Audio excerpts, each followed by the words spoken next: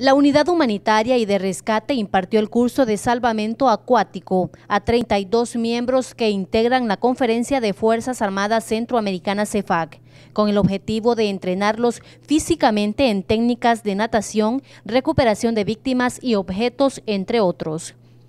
Pues la verdad que aquí estamos en un entrenamiento bastante fuerte y estricto, lo cual pues nos viene a beneficiar tanto físicamente como también nos ayuda a ser unos mejores profesionales bajo la instrucción de personal del Cuerpo de Bomberos, representantes de República Dominicana, Guatemala, El Salvador, Nicaragua y Honduras fortalecieron sus conocimientos en la prevención de vidas humanas.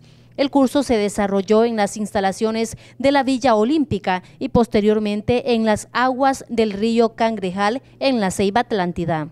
Bueno, una nueva experiencia y eh, muy bueno en lo personal y excelente por el marco de cooperación que tenemos para ir a apoyar y a instruir a los nicaragüenses.